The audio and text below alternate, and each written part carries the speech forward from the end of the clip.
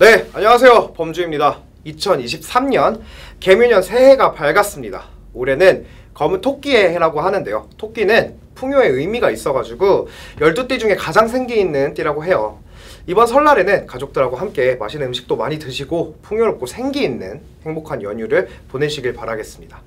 저는 올해에도 더 좋은 음악 많이 만들고 많이 불러드리면서 여러분들한테 행복을 전달해 드릴 예정이니까 많은 관심 부탁드리고 여러분들도 항상 행복하시고 건강하시고 원하시는 일들 다 이루시길 바라겠습니다. 새해 복 많이 받으세요.